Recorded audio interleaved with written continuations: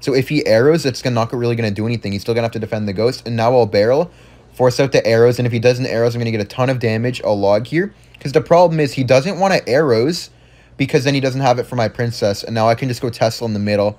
Perfect idea right there, man. Let's go. I just need to defend now. And it should be easy defense because I have Evo Tesla coming up. Cycle my first princess. I, Well, maybe not easy, but it's definitely doable, I guess, is what I'm trying to say.